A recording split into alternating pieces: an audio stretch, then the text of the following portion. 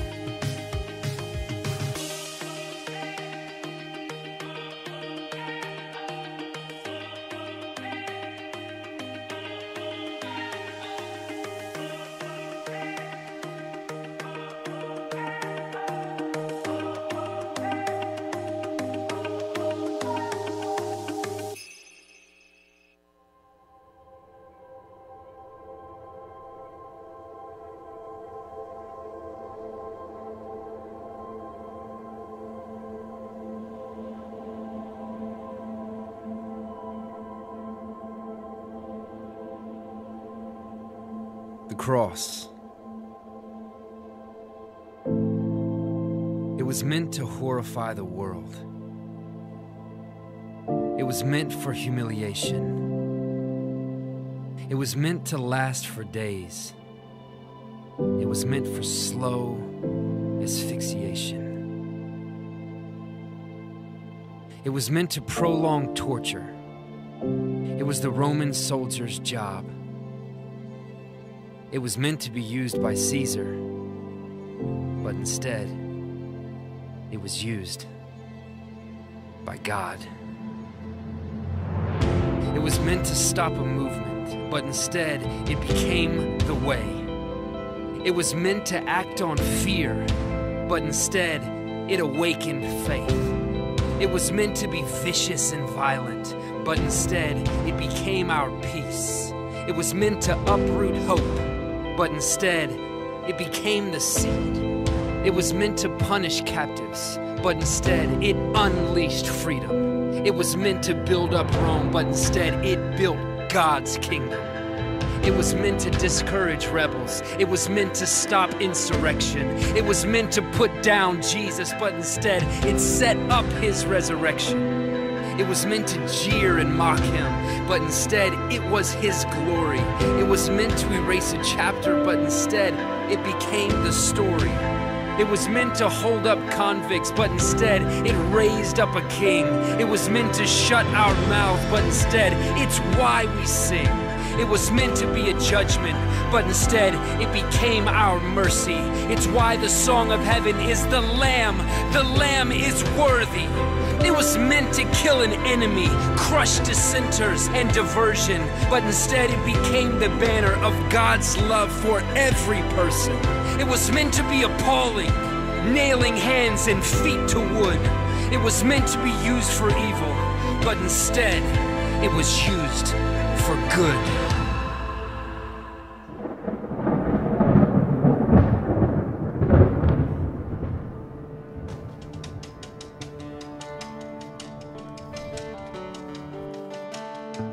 Happy Easter, new song. I want to invite you to stand up, say hi to a couple of people around you. Aren't you excited for what happened in Jesus' resurrection? Come put your hands together.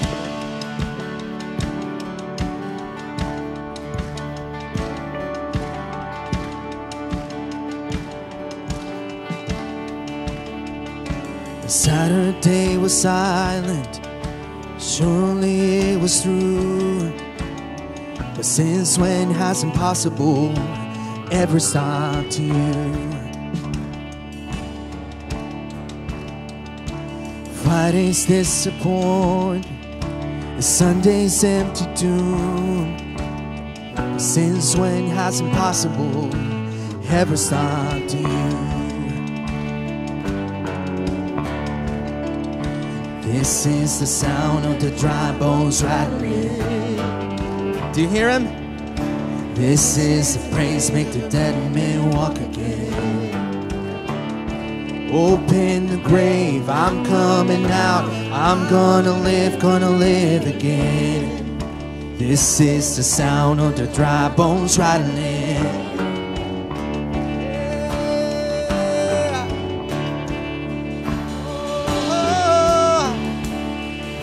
The Pentecostal fire stirring something new. You're not gonna run out of miracles anytime soon. Come on!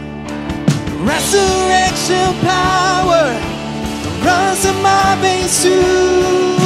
Yeah, I believe there's another miracle here in this room. This is the sound of the dry bones rattling. The praise, make the dead man walk again. Hope in the grave, I'm coming out. I'm gonna live, gonna live again. This is the sound of the dry bones rattling. Rattle.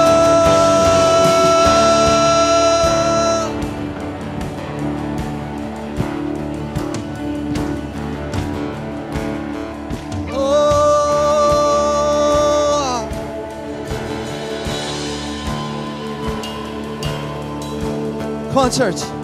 My God is able to save and deliver and heal and restore anything that He wants to. Just ask the man who was thrown on the bones of Elisha if there's anything that he. Just as the stone that was rolled in the tomb in the garden, what happens when God says to move?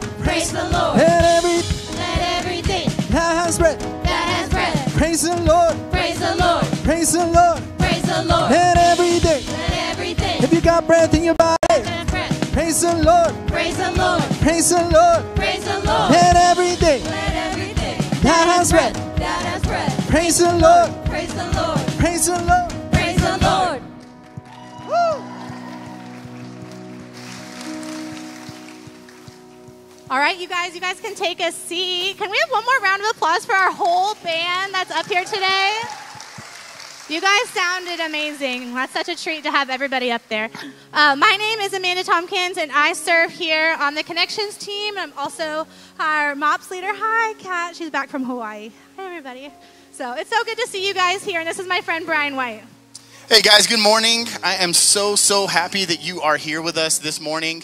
Um, if you are not excited, I don't know how. I can tell you right now that that intro video reminded me of game day and pregame, and I was just getting stoked and ready to flip chairs over. It is a celebration day. I'm telling you right now, the resurrection day is a celebration day. We are so glad that you are here. If you are visiting us for the first time, we just want to say welcome and thank you for being here. We know that you have a million choices on an Easter Sunday morning of things that you could do, and so the fact that you are here is a huge deal to us. And so, welcome. Thank you so much for being here. We would love for you to participate in the mission of First United Methodist Church in the NewSong Worship, which is to follow Jesus, to build relationships, to grow in discipleship, and to experience transformation. We would love for you to be a part of that. Yes, and if you guys notice in your uh, chair, we put out all of these connect cards with your bulletin. You guys, summer's just around the corner. We guys want you guys to get connected if you want to know what camps is camps are coming up, what we're offering this summer. Um, but also, if you are looking for a church home or you just want to talk to us and get to know us more, please fill out that connect card. And you can also text the number on the screen too to just say connect, and we can get your phone number from there. Um, but you can also just put the connect card in our offering box. We don't pass the plate here, so if you're waiting for that, you know, COVID changed a lot of things. So we have a box out here. Um, so you're going to drop your offering or uh, and your connect card in there, or you can come visit us at the welcome desk. We have special gifts for your first time, and we love to meet you. Um, today we are talking about the resurrection, obviously, and so we have a resurrection wall um, that Lexi made. I think um, she worked really um, is outside. If you guys can take a Polaroid and just put um, your photo on that wall so you can symbolize that you too have been resurrected today. And also, if you are posting a picture up, we want to know that you've been resurrected. Obviously, that's a huge thing. We're going to celebrate that in the same way that we celebrate this holiday. But we would also love for you to participate by writing the names of individuals that you hope to be resurrected. Those individuals that you know that you spend time with, that you live life with, that you just want them to have the same relationship with Jesus that you have. We would invite you to write their names and to post those up on the board as well. We would love to know about that so that we can pray for them and pray over them and their lives. And honestly, guys, I, I can't tell tell you how excited. This is one of my favorite holidays. I know it's one of Pastor Thea's favorite holidays as well. I would love for you to stand, and I'm going to say continue to worship, but I'm also going to say continue in this celebration of Resurrection Sunday. It is a huge, huge day, and we want you to be a part of that. So please stand with us as we continue to worship. I want to read to you this um, this Bible verse that is in Luke 24, and it says, "At the crack of dawn on Sunday, the woman came to the tomb carrying the burial spices that they had prepared. They found the entrance stone rolled back from the tomb, so they walked in. But once inside, they couldn't find the body of Master Jesus. They were puzzled, wondering what to make of this." Then, out of nowhere, it seemed, two men, light cascading over them, stood there. The women were awestruck and bowed down in worship. The men said, Why are you looking for the living one in a cemetery? He's not here, but raised up. Remember what he told you when you were still back in Gal- Galilee that he had to be handed over to sinners, be killed on a cross and in three days rise up. Then they remember Jesus' words. Um, even though we try to imagine and picture what happened on that day, I cannot even begin to comprehend how they felt. Whenever they saw Jesus a few days before, a few days back on the cross, his master, the ones that the one that they've been following for quite a few time now. And now he's dead. There's a lot of disbelief, not a lot of hope. But then Sunday's coming. Can you imagine? And we were talking about this with my family in the back, and we were trying to imagine and picture how did it feel in heaven with God and all the host of angels they stopped everything that were they were doing, and all of their attention was, in only one place the cross, the tomb. Have you ever felt in a moment of despair where you cannot even fathom words, you cannot even put words together of how do you feel? You just look, you just see. And then all of a sudden, the Son of Man rised up from the dead. I cannot even imagine how it felt on heaven in that moment. All the angels celebrating and singing, Holy, holy, holy is the Lamb. And that's what we're trying to replicate here today. It's not about the show or the lights, or, of course, we're grateful with all those things. We're grateful for Jesus first. Can I hear an amen? We're grateful for what He did. We're grateful for what He brought us, even though we didn't deserve it. But He still, in His grace and His love, gives us a second chance, a second opportunity. I want to invite you as we sing this song, I want you to think about that. And I want you to lift up your voice and to sing all together Holy, holy. You are holy, God. Thank you for your son, Jesus, and what he did on the cross. Thousand generations falling down in worship to sing the song of ages to the Lamb. And all who've gone before us, and all who will believe will sing the song of ages to the Lamb. Your name is the highest, your name. Is the greatest, your name. Stands above them all. All thrones and dominions, all powers and positions, your name stands above them all, and the angels cry,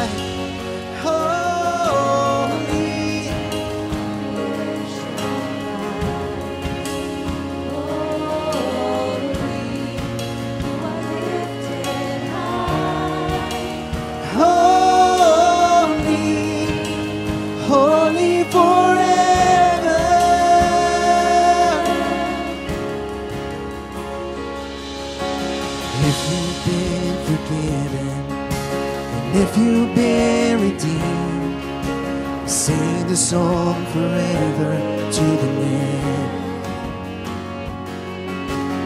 If you walk in freedom, if you bear His name, sing the song forever to the Lamb. Sing the song forever and amen. And the angels cry,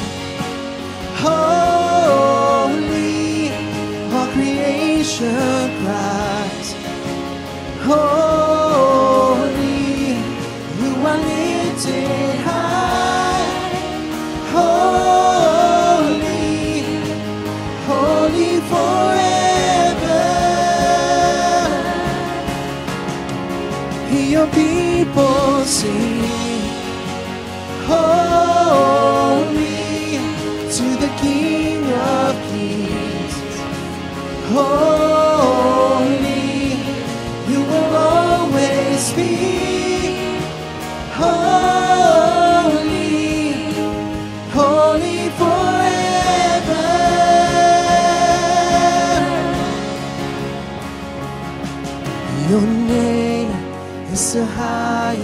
Your name is the greatest. Your name. Stands above them all. I want to hear you sing new song. Come on. All thrones,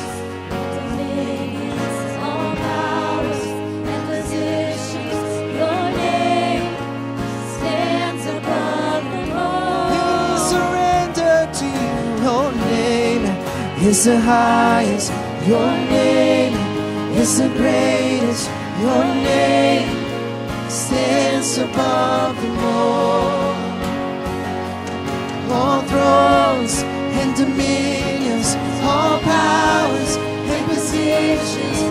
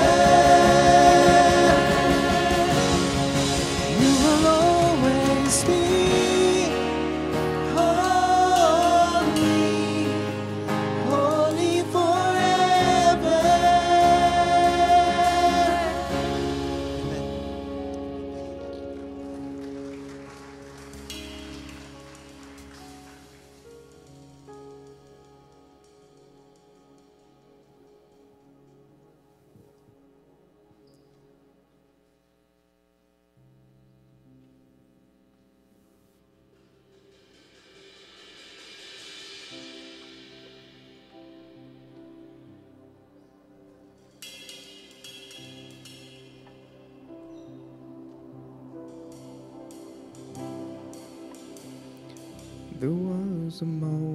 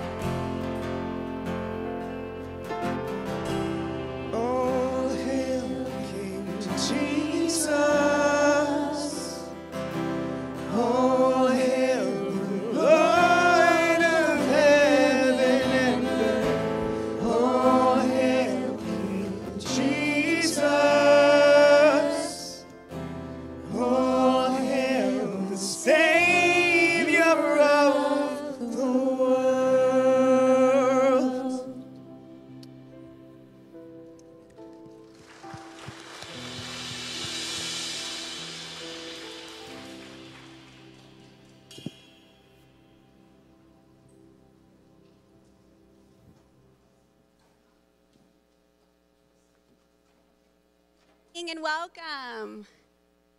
Good morning. Can you hear me? Can everybody hear me? I have my friend Charlie here because here at First United Methodist Church Pearland, we just like to have fun. I am Shannon Garza, and I am the Children's Ministry Director here. And um, I'm just really excited. I'm excited that all of you are here, that we get to celebrate today together, and that I get to invite all of our kids who are way ahead of me to um, please join us for a sermon session. And um, parents, your children will be returned to you at the end of service in time for communion. And I think we got everybody. So we're glad you're here. Thank you for sharing your babes with us, and we'll see you in a bit. Charlie's got this.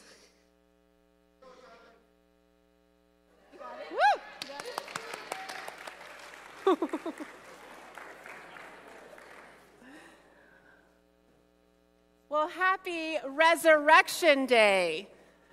I'm Pastor Thea, and I'm so glad you can clap. You can be excited. It's a good day. Um, so glad that you're here today to celebrate, to worship, to praise, to have fun on this glorious day. Um, we're so glad that you decided to be here. And um, Arnold reading out of Luke is the reason why we're here, right? This truth that when the women came to the tomb, the body was not there, it was empty. And the angels confirmed what Jesus had been telling them would be true that Jesus is risen.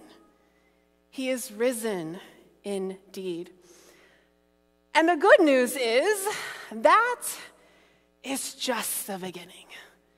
That is not the end of Jesus' life or ministry or mission, but instead that mission will continue through his followers, through those who believe. It will even continue through you. Oh, glorious God, we thank you that we could come together today in praise. That we would have this space and this place and the freedom to recognize the truth that you are a living God, that you are not dead in a grave, a pile of bones decaying away, but you, Lord, have risen. You have regained life and you give us life too. And so while we have come together today to celebrate the truth about you, oh gracious God, we pray you might reveal to us what you also have planned in our life, our resurrection and new life that you promise to give. And oh, good, loving, and kind God, we will try as hard as we can to receive it, to believe it, and to be a part of your great rescue plan. It is in your wonderful, mighty name we pray. Amen. I want to read together today from the book of Acts. Find that in your Bible or your Bible app, chapter 1, starting in verse 6. This ch- book starts with Jesus appearing again to the disciples multiple times after his resurrection, affirming that everything he had ever told them was true. But then he tells them, It's time for me to go away, to step aside, ascend to the Father, and really leave things up to you.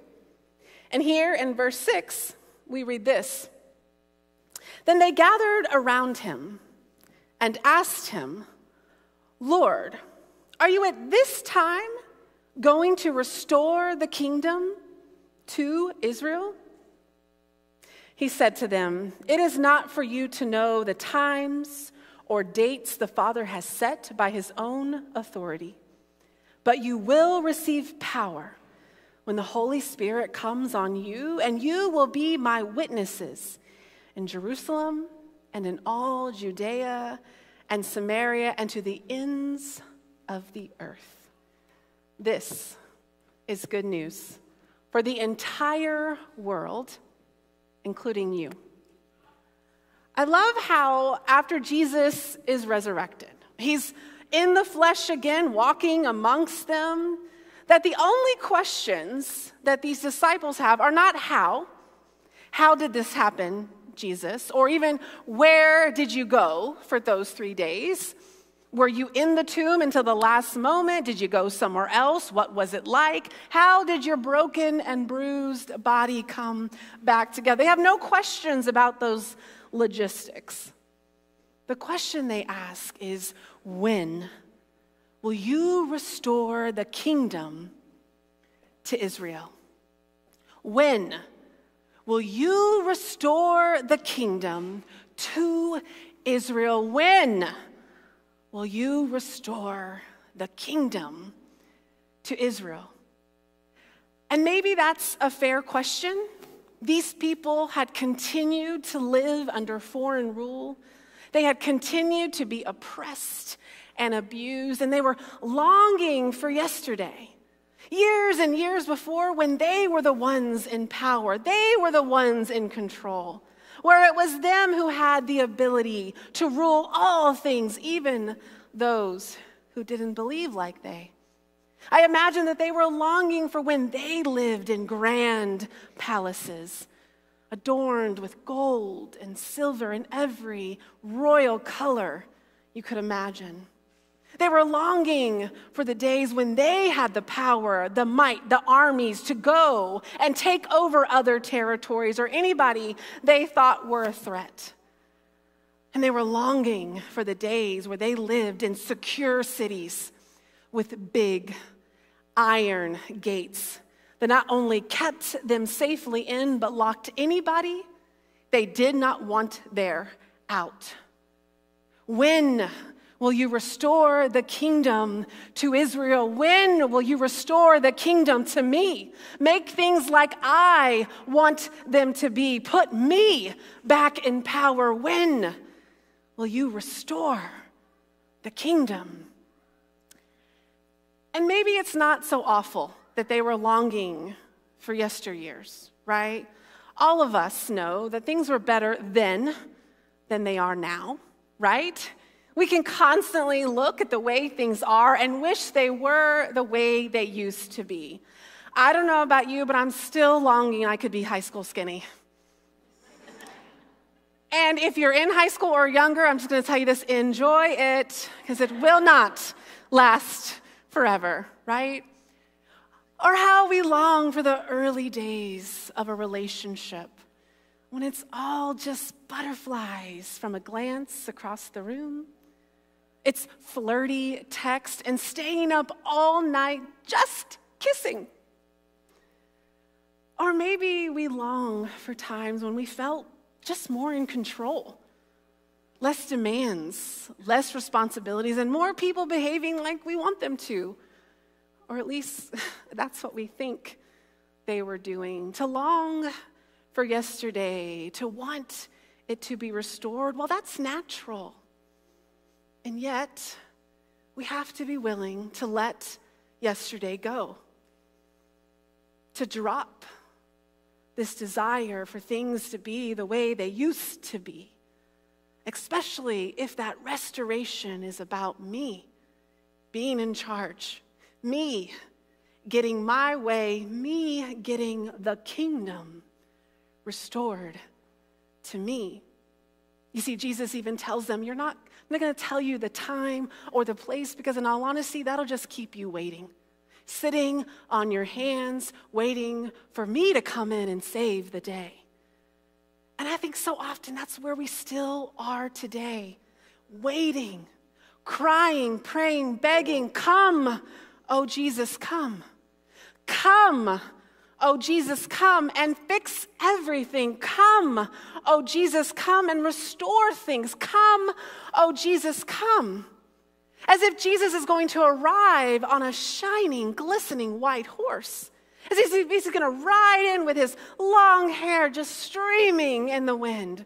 And he's going to have a big iron sword to finally get rid of all of those who are not doing things the way you want them to be. Come, oh Jesus, come and save us from this reality.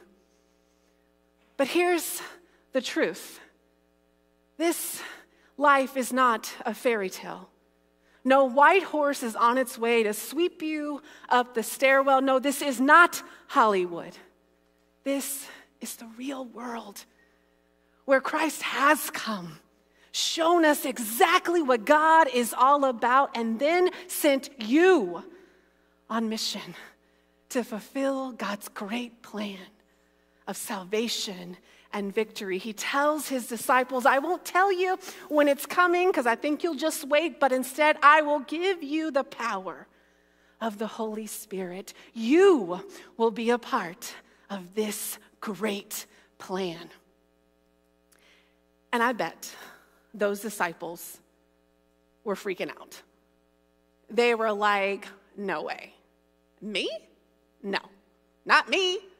I mean, they were uneducated, most of them were poor, they had no real power or privilege. How in the world are they going to be a part of God's restoration? Not me, no, it couldn't be.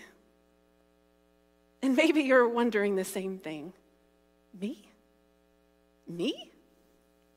Yes, you too. And you, and you, and you, and you, and you, and you, and you, and you, and you, and all the yous who didn't show up today. God's great plan of complete restoration and victory comes through you, through the power of the Holy Spirit that Jesus promises is coming even to you. And friends, you already know the good news Jesus is alive. He is not in the grave. The body is missing. He is not decaying. He is alive. He is risen. And the thing about Jesus is, Jesus shares every single bit of himself with you and me. And so, if Jesus is alive, you are too. You see, Jesus shares every single bit of his life his compassion, his kindness, his words, his food, his miracles, his ability, and the whole entire truth about who God is and what God is up to. And so, just as Jesus is willing to die to give us new life, that new life has already been given to you. Jesus is alive, and you are too. I want you to say it with me Jesus is alive. I am too. Jesus is alive. I am too. Jesus is alive. I am too. And it's okay if it gets a little wild and a little bit loud because that's what happens when you receive this holy power truth, God's breath inside of you. You see, that's what the Holy Spirit is God's breath poured into you. And that means that it's God's breath filling your thin lungs, not only giving you the ability to live, but also expelling all the toxins from you. It's God's breath that is pumping your heart, sending blood and passion to all of your extremities. It is God's breath that is moving your muscles, giving them the power to do incredible things. God's breath is inside you. This is the power that not only Jesus promises, but brings if you're willing to receive. And if you're willing, if you long for this power, if you want to feel God's breath inside of you, I invite you to do exactly what the first believers did so they could have it too. Pray. Pray all the time without ceasing, with intentionality. Pray. Pray the first thing you do when you wake up in the morning and you take that first conscious breath. Pray to God with thanks thanks that you would have another day, that God would fill your lungs and give you life. Pray as you make that warm, delicious, creamy, hot cup of caffeine that you believe is the only thing that's going to get you through the day. Pray for God's breath to energize you, to fuel you, and help you focus on what's important and where you really need to spend your time and energy that day. Pray as you're preparing for your day, whether that's just you or helping many others get prepared too. Pray as you make your way to the first places that you will go school, work, Kroger, the laundromat, wherever you end up. And pray that while you were there, you would see the others as people, not as burdens, not as problems, not as issues you have to get around, but people. Human, fallible, beautiful people, just like you'd hope God sees you. Pray at every meal, asking God to continue to fuel you and drive you forward with whatever it is that God has intended for you to do, and pray before you go to sleep thanking God for the many breaths you were able to take, even if that's all you feel like you did successfully that day. If you want God's breath in you, the power of the Holy Spirit that God has promised and sent, pray, and you will receive. And this breath, it will not force you. It will not coerce you, but instead it will just become who you are. You will be compelled to live, work, laugh, and love the way that God intends. Like how Mr. Rogers just had a compulsion to offer truth, kindness, reality to children through a television show where he was willing to deal with real stuff like death, divorce, and even race because he knew kids needed it and he felt compelled to breathe into that space. Or how Lisa loves to create delicious treats and brings them to everything special events, meeting, it just happens to be Tuesday and you look like you need a cookie. She can't even taste or smell them herself anymore, underlining this truth that she is just simply compelled to bring goodness, love, sweetness to anyone willing to receive. She's not trying to prove she's the best at anything or get you to buy anything. This is just how she breathes. Or how Brandon is quick to build a team, to build a ramp for anyone in need. Not so that they'll believe in Jesus, not so that they'll come to church, not so that he can earn his own way into heaven, just because this is how he breathes. This is the power of the Holy Spirit in regular people like you and me. And this is what happens when we're willing to receive.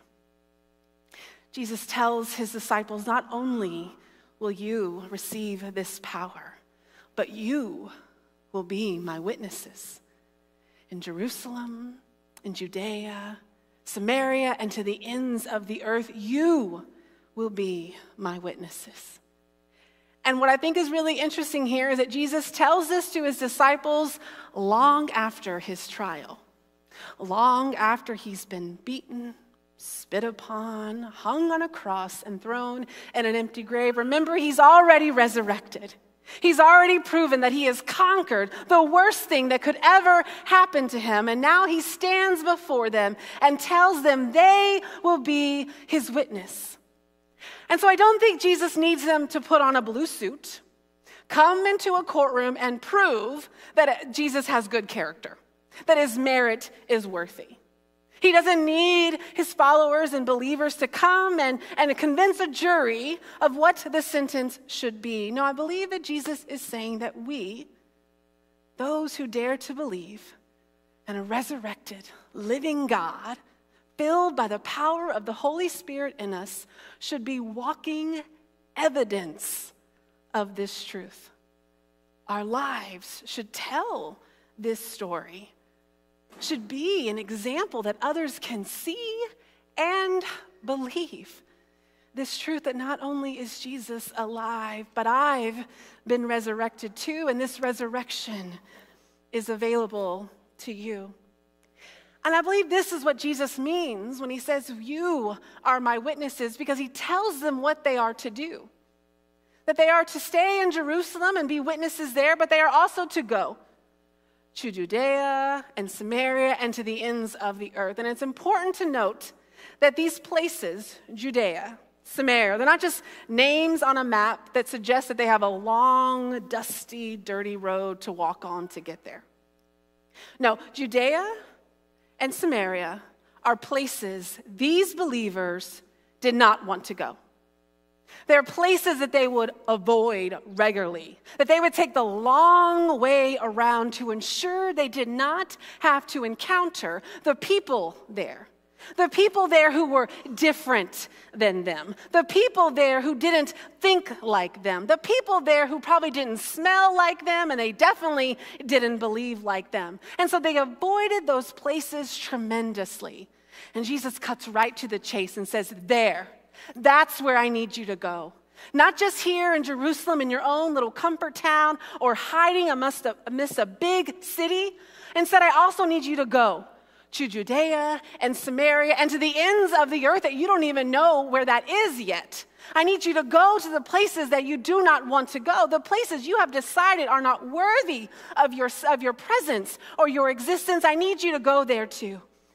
And the same is true for you and me, if we will be witnesses to God's truth, we must be willing to go where we do not want to go to.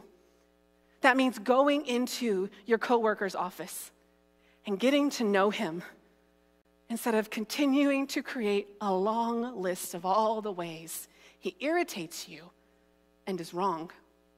It means going to your neighbor and having a conversation with her, getting to know her story instead of just complaining about it on Facebook or the neighborhood group. It means talking to the mom who's different and offering to understand her a little more inviting the dad who's always by himself to coffee or breakfast or lunch just so that he can feel included too. It means talking to the person that you don't like and don't want to like. It means talking to your family, your spouse, your children about the hard things, where you've gone wrong, and how you truly want things to be different to be witnesses of God's amazing truth, to be filled with the power of the Holy Spirit, to be alive as Jesus has given you, will send you to go to the places you do not want to go and be evidence, walking, believable truth that God is of restoration, of redemption, of resurrection and new life for those people too. And the best part about being a witness is that you are freed from the judgment. You, as witnesses, are freed from the conviction. You are freed from the sentencing. You are freed from having to decide if the other per- person is truly worthy or even if they're willing to accept the truth you are presenting. To be a witness is to bear the truth, to say it out loud and in your spirit, even in the places you do not wish to go. This is what Christ has intended for us. This is the continuation of God's great plan of salvation. This is how the kingdom is restored, not to you, but by you, through you. For if Jesus is alive, then so are you. And through the power of the Holy Spirit, we are called to be witnesses, living truth, willing to go to the ends of the earth if we have to, to be sure others know this truth too.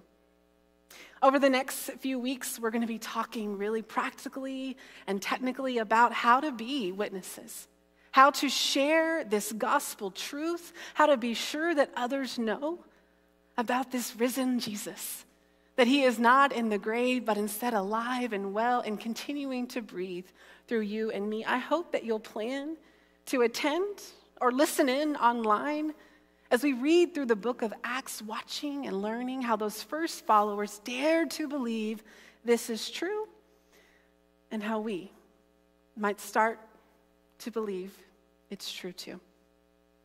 Let's pray. Good and wonderful God, we are in awe of this truth that you are risen, that you are not stuck in a grave, but you are alive and well and with us today. In fact, it is your breath in our lungs, giving us life, giving us the power to move and bear your truth so that the world would know. Oh, gracious God, help us as we strive to figure out what that really means. Not for all, for me. Inspire us, heal us, empower us, and give us courage to discover how we might too be a part of your plan of great rescue. We pray these things in confidence of your holy, good, and powerful name. Amen. As a piece of living out this truth that we are called to be witnesses, earlier this year we changed the name of our Do Good project to Church in Action. And this was not just a fun thing we decided to do because we were bored and needed to make new logos. No, we did this because we wanted a name that better resembled what this piece of our ministry is about. Doing good is great, but being a church in action really underlines the idea that we are to move, that we are to be mobile, that we are to do more than sit in our own locked doors, but instead go out into the streets where the people are and truly offer good news in real and tangible ways. And so this year, we've already started continuing our partnerships with our uh, long term partners like uh, Christian Helping Hands and a couple others that we continue to support. But we've also gotten creative and we decided that we wanted to move a little bit. And so in January, we met uh, for five weeks at Torchy's Tacos and we did Let's Talk About Our Faith. Give me a clap if you attended some of those. We had some really great and honest conversations, and we did it out in public where other people could see and hear. And while I don't believe that there was any, you know, brand new converts to Christ, which is again was not our goal, what I thought was really interesting was that the staff saw us each week over and over gathering together, church going Christians, eating tacos, having a beverage, and talking about our faith. Even though we didn't agree, even though the topics got really wild and probably a little loud, they saw us willing to do so out in the streets. We also started a podcast. If you're not listening, I encourage you to follow and subscribe to Real Talk on your podcast platforms. And there, we're just trying to have real and honest conversations about faith, about questions, about doubt, and in a place where we can reach those beyond the limits of space and time. We are all so divided, I think, the most by time these days. And so, this is a way that it can reach people right where they are in the time and snippets that they allow. And so, if you haven't been listening, again, I encourage you to listen, but also share. I've noticed that people who are unwilling to maybe come into the church building are actually interested in conversations about faith, and this should be a safe, easy way that they can do so. And we also hosted uh, Wesley A&M, uh, excuse me, A&M Wesley Foundation, a group of college kids who came in for a week. They gave up their spring break to do church in action things. They went and made repairs, built ramps, completely tore down a falling down shed for a family in need. And um, you'll see it there. I mean, their smiles are genuine. And we were able to offer our space for them to stay, as well as a few connections, so that they could truly be the hands and feet. This is what church in action is all about being willing to move beyond our own doors, our own spaces and places of comfort, to get out into the world where the people are and offer them the hope of Jesus Christ too. I'm going to invite you today to make a gift uh, that would support this mission. Uh, you can pull out your phone and text the word give to our text line. That'll give you a one, uh, an, an easy link that you can use. And uh, you can make a one-time and or reoccurring gift there. You can also drop a gift in the offering box as you leave if you have uh, cash or check and you're um, still you know uh, happy to carry those things. We welcome those gifts as well. All of your gifts make it possible for us to continue to not only provide this opportunity to worship in our space and all we do on campus but continue to move us out into the streets as well and so thank you for your willingness to give we know the truth, friends, that Jesus is risen, that he is not in a grave, he is not decaying away, but instead he is alive, and this gives us new life too. And every week that we gather together in this space, we remember this truth, not just with words and song, but also with Holy Communion. This remembrance that through the body and blood of Jesus Christ, we are given communion with God directly and completely. We don't have to earn it. We don't have to prove we're worthy. We don't have to be checked off on a box that says we are accepted. You've already been redeemed. Christ's love and grace has already been poured out from you. And so that means that all of you are welcome to receive. Welcome to receive this grace, this love, this redemption, the restoration Christ has for you but also know that means that Christ has restoration through you. And so come willing to receive that holy power too. As we prepare for this special participation, participation, I'd like to take a few minutes to pray. And actually, this is for you for you to confess of your sins, the places that you feel or know or think you might be far from God. Maybe it's just to say to God directly, You are God and I am not. Or maybe it's a time that you can use to be quiet and listen to what God might have for you. Let's take a few moments to pray, and then we'll say the Lord's Prayer together. Let's pray.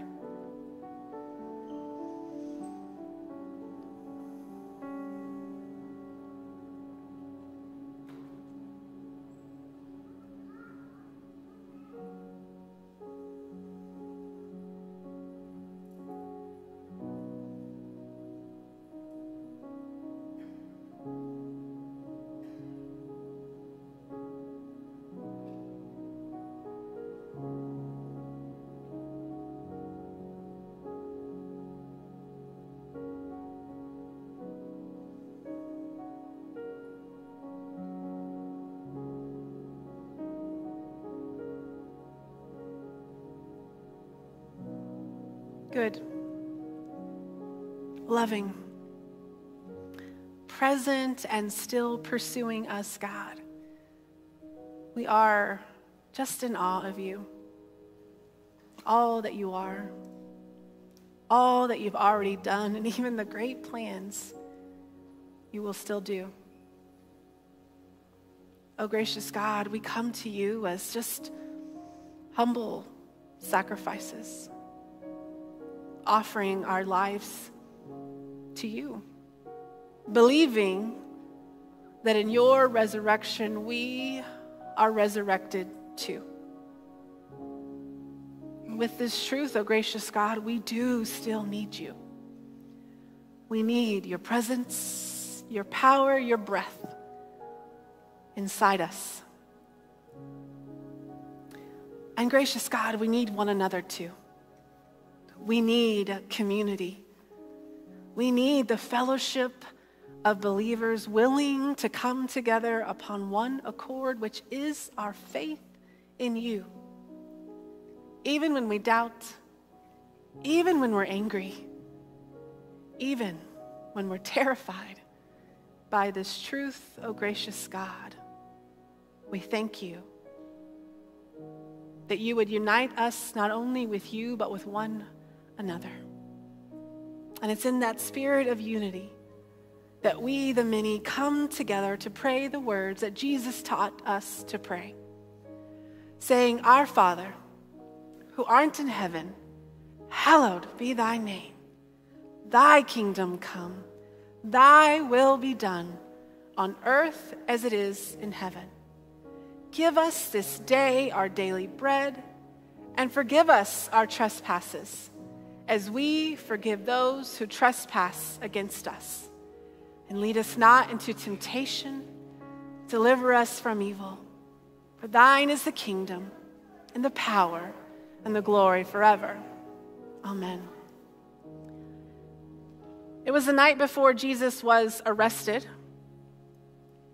before he was given a mock trial, that he gathered together with his friends, his followers. He even told them, I no longer call you disciples, I call you friends because this is the relationship I intend for us to be connected, to be in union, to be one. And in that meal, Jesus took the bread. He lifted it up, something they would have at most every meal, but this time he blessed it. He gave thanks and then he gave it to them, saying, This is my body. It's been given for you so that you will be forgiven of all your sins, but not just for you, for many. Every time you eat of this, remember me and all the things I've taught you, all that you believe.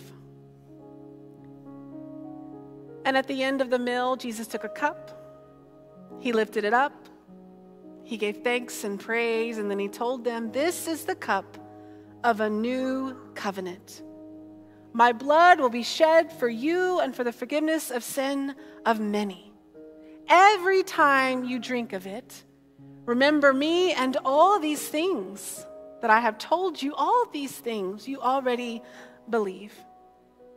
And so we come together now with the confidence of those first believers, still celebrating this truth of who Jesus Christ is and what he is continuing to do. We partake in this wonderful meal as a representation of Christ's grace and love already poured out for you, and the recognition that we are part of God's great plan of rescue. Holy and gracious God, we pray you would pour yourself upon these simple things. Make them for us, redeeming grace of Jesus Christ, wipe away our sins, and free us into liberty of service to you, to be witnesses of your truth actively, right here, right now, restoring your kingdom here on earth as it is in heaven. Amen. As the servers come forward, ushers are going to release you. You'll come and receive a piece of bread that will be dipped in the cup. You'll consume those elements together and return to your seats for worship, for prayer, whatever you need. I am going to encourage you not to leave. We have something very special at the end of service I want you to be around for.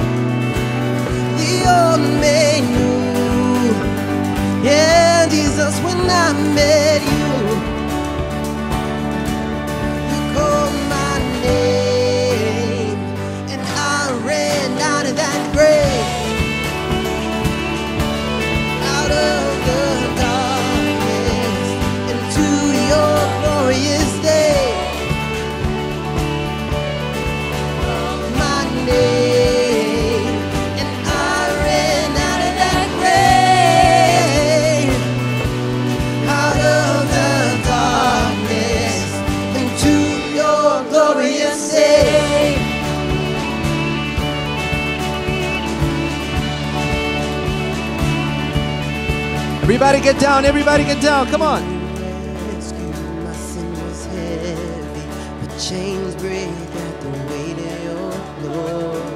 I need a shelter. I need heavy, but chains break at the weight of your glory. I need a shelter. I was an orphan, but you called me a citizen of heaven.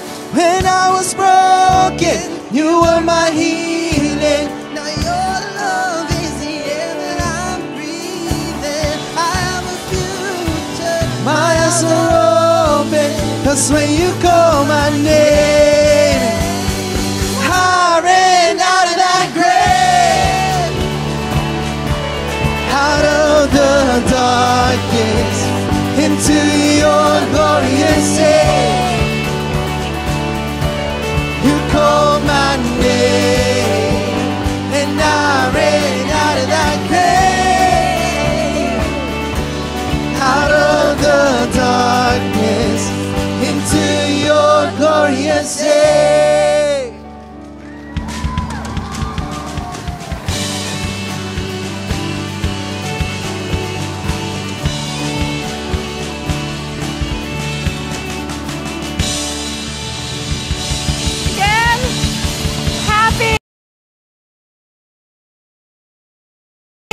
celebrate this day with us. Stay, play, enjoy the coffee, donuts. There's plenty. And be sure to add your name to the resurrection board. I hope to see you next week. Until then, go with the resurrection truth.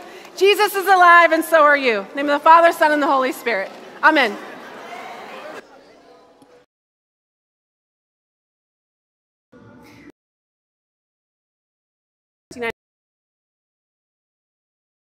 Engage moving in faith. You might think that we're hosting, or maybe truly follow Jesus. I hope that you're willing